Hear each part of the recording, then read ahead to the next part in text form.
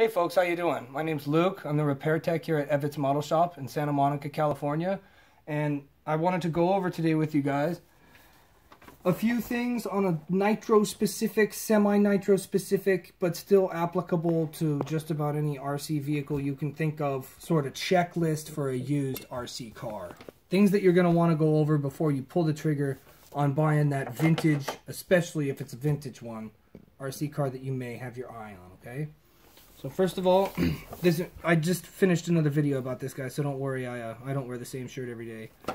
Um, this is an OFNA Ultra GT. It's an 8-scale nitro-powered racing buggy from the 1990s, about 1995-96. This was manufactured and released. Um, it's a nitro car, like we talked about, so there are some nitro-specific checks that we're going to be going over and some general mechanical things that are just good to be aware of anytime you're looking at a used and particularly a vintage RC car, along with some other advice that I think is pertinent to the ownership of you know RC vehicles that are a little long in the tooth, as some people like to put it. So we look at the outside and see whether or not it appeals to you. That's obviously 100% of the thing right there, whether or not you want to get into it and put in the work that a vintage Nitro RC car is going to require in order to get it up to snuff and keep it running properly and procure parts for it, whether or not it speaks to you in a way where it's going to be worth your time. So in my case, I look at this, I'm nostalgic for this particular car as I went over in the other video that addresses this car. I like the paint job. I think it's pretty cool. So for me, the answer to that question is yes, this is appealing to me and it's worth my time. Now, let's take off the body so we can have a look at the internals. And this is the important part. So right off the bat, you're going to notice here's the engine, the header, the pipe, the fuel tank. The drivetrain is going to come right out of here off the flywheel and the clutch and go out to the front and back. And then you have some electronic bits on here. Long and short of it is, and then of course suspension, components, drive shafts, things like that. That's the full list basically. There's nothing really much else going on with these that you won't notice right off the bat. So as soon as you take the lid off, this is however long you need to take to do this. Just make sure you do it. For me, it's relatively fast because I'm familiar with these vehicles and with this kind of stuff in general. So I just go from the front to the back, just looking all at the, the way that the screws look is important. And just look for anywhere that you might see anything that's broken. Right away, of course, this sticks out to me, this broken shock. I noticed that right away. You can see that without the body on, so that's no big mystery. And I've already replaced the wing. So the old wing is, is put aside, and this isn't the original wing, so that's been replaced, like I said.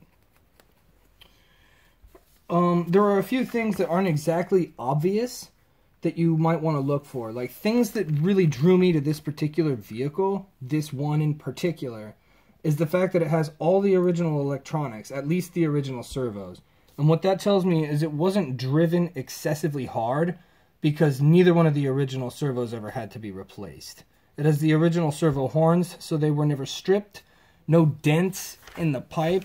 The exhaust tip here isn't bent or pushed in. And I don't see any kind of real signs of hard stress on it. There's a few like rock nicks and things on the bottom of the chassis.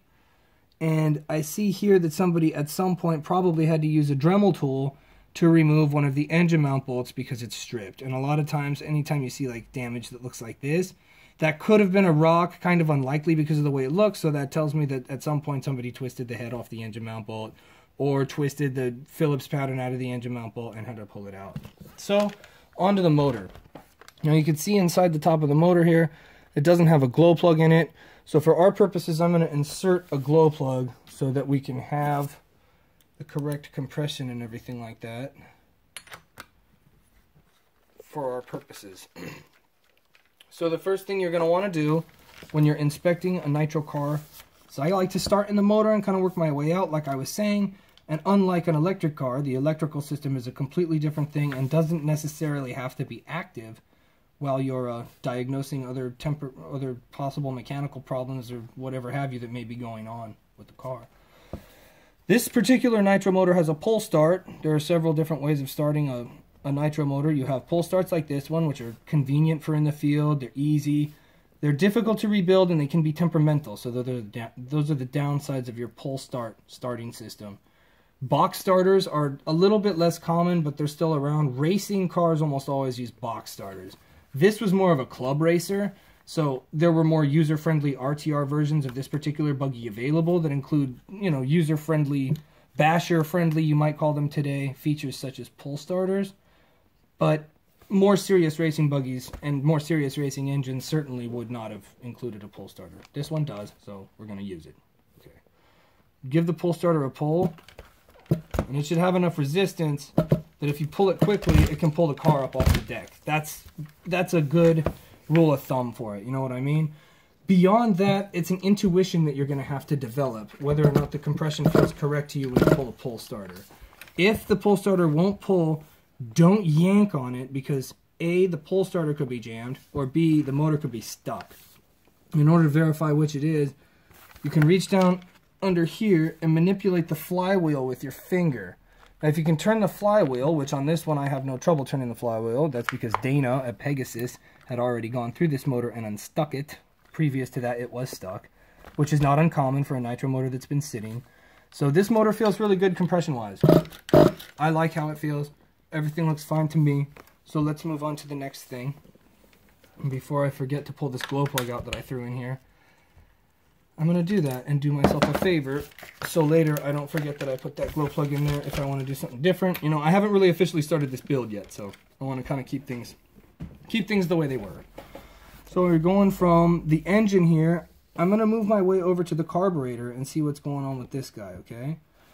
Now the first thing I want to do is get out my tuning screwdriver and without going too far in either direction, I'm talking like a 16th of an inch either way. I want to manipulate the high-speed needle first. No, you can go in any order you want, but the high-speed needle is nice and accessible, and it's a very important needle. Now, the reason I only move them a little bit is these seals in the carburetor could be dry.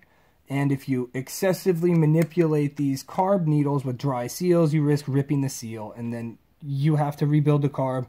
And a, a point that I'm going to just really hammer home a lot with these vintage buggies, well, vintage RC cars in general, is it can be hard to find these parts. So you really don't want to ruin anything or throw anything away until you're either positive that you have a replacement, or better yet, don't do it. Don't ruin it to begin with. Here's our low speed needle here on back to our carb diagnosis we got going on over here. That feels fine. That's manipulating pretty well. And our idle set. Idle set feels good too. You can feel it moving around in there. So that's that's good too.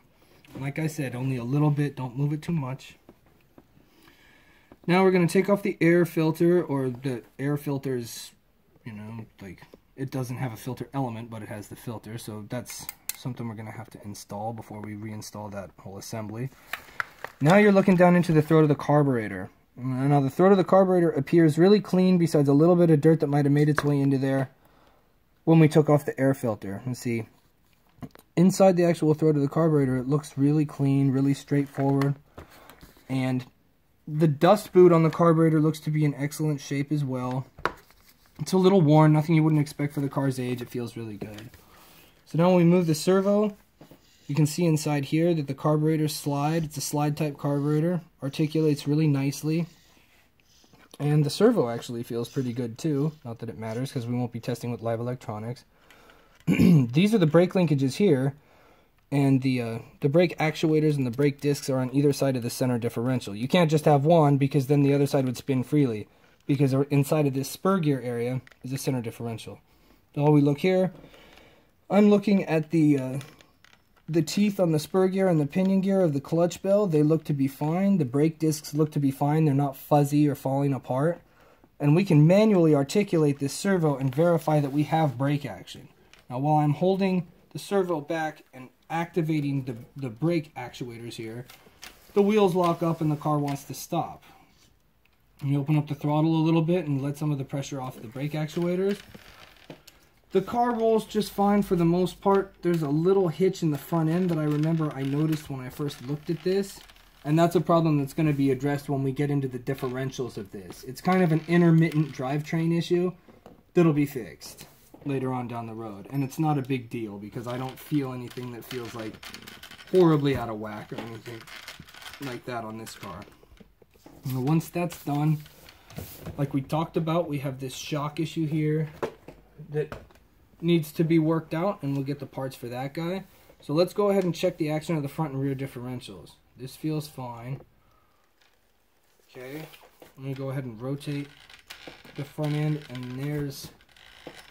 See, when I said the problem was intermittent, that was our snag. The snag in that front differential or center differential is gone now. So since it's on and off, it needs to be addressed, but that tells me that it's a pretty easily fixable problem. The rear differential articulates just fine. The shocks, short of requiring a rebuild, and we'll see how well they hold oil or how the seals look once I get into them and look. We'll know pretty quickly where we're at with those guys.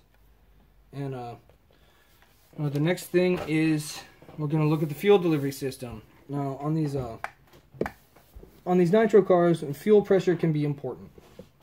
It is important. So this is the supply line to the carburetor that's going to run the motor. I'm sorry for nitro guys who are real seasoned on this kind of stuff or know what I'm what what we're dealing with already, but just bear with me. And this is the exhaust pressure line that comes off the pipe and goes into the top of the fuel tank. So the the exhaust pressure and exhaust gases in this pipe actually pressurize the fuel system. We want to make sure that the fuel tank doesn't have any air leaks. In order to do that, I'm going to unplug, because on this, on this particular vehicle, it's convenient to do so. Unplug the supply line that goes to the carburetor, and I'm going to unplug the fuel pressure line that's coming out of the pipe and going into the lid of the fuel tank. I've put my thumb over the outlet here that goes to the supply line, and then we're going to go ahead and blow in this fuel pressure line. And the tank is sealing until the lid lifts. That's sealing up nicely. So that tells me that there are no cracks in the fuel tank down in the seam here. And also that the fuel tank seal is doing well. And we don't have any problems with that one. And so in this in this case the fuel tank's fine, which is also good news because you don't want to have to track down parts for this because it can be quite difficult.